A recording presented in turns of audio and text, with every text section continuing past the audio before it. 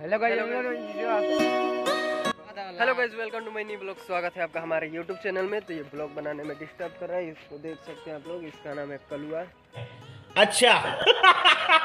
ये आपको हम दिखाते हैं कुछ बैक कैमरा से। आप लोग देख सकते हैं बारिश होने वाली है मौसम वैसा हुआ है। और ये ब्रिजेस ले जाएगा अब इनको घर आप लोग देख सकते हैं।